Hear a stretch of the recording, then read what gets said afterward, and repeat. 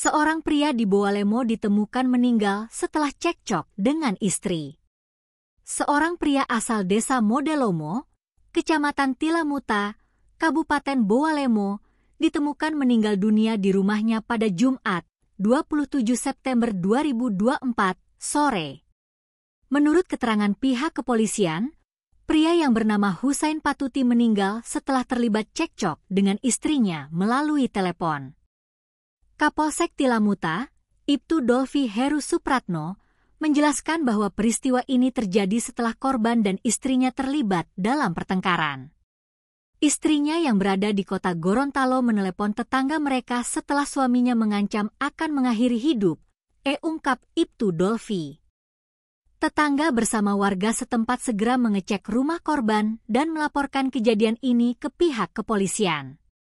Setelah polisi tiba di lokasi dan mendobrak pintu rumah, korban ditemukan dalam keadaan meninggal.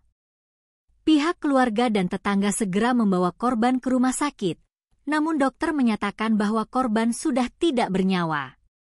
Saat ini, pihak kepolisian masih menyelidiki lebih lanjut motif dan detil kejadian ini. Download Tribun X sekarang, menghadirkan lokal menjadi Indonesia.